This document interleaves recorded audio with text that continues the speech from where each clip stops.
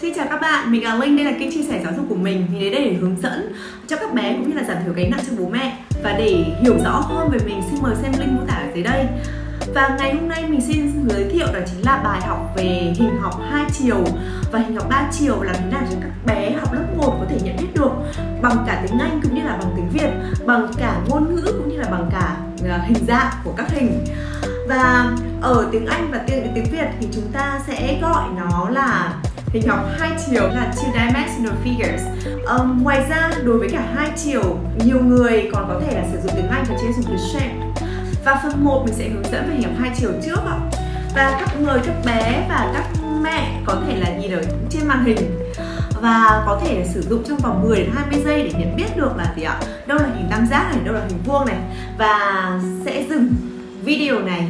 Sau đó thì các mẹ sẽ come back lại à, các bạn cần come back lại để xem là gì à đâu là hình hai chiều đâu là hình ba chiều và tiếng Anh tiếng Việt là như thế nào A few moments later.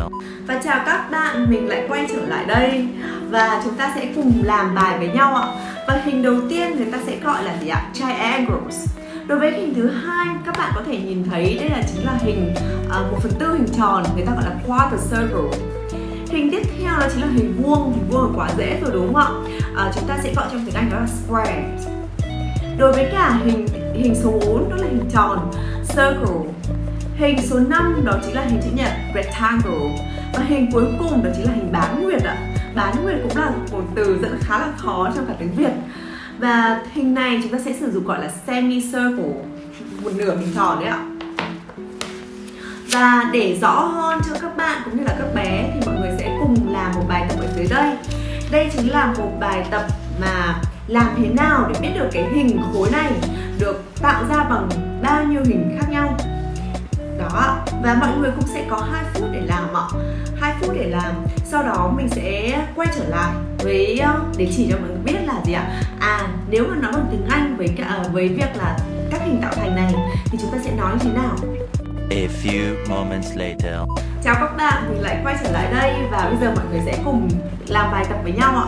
Mọi người có thể nhìn thấy là gì ạ? Hình ví dụ ấy ạ. Thì chúng ta sẽ làm được cấu tạo bởi một cái hình tam giác và một cái hình bán nguyệt. Đó chính là một phần hai hình tròn. Um, và chúng ta sẽ nói rằng là these figures is made of a triangle and semicircle. Um, và hình số 2 được tạo thành bởi một hình tam giác và một hình chữ nhật. These figures is made of are triangles and rectangles.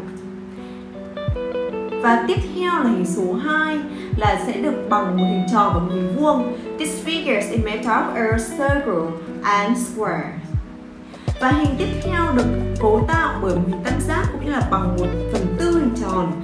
Thì chúng ta sẽ sử dụng là these figures is made of a triangles and quarter circle và hình cuối cùng ồ oh, dễ quá đúng không ạ? Hình cuối cùng chúng ta sẽ thấy là đây là một hình hộ hình chữ nhật cộng với cả một hình tròn. This figure is made of a rectangle and a circle và rất dễ đúng không?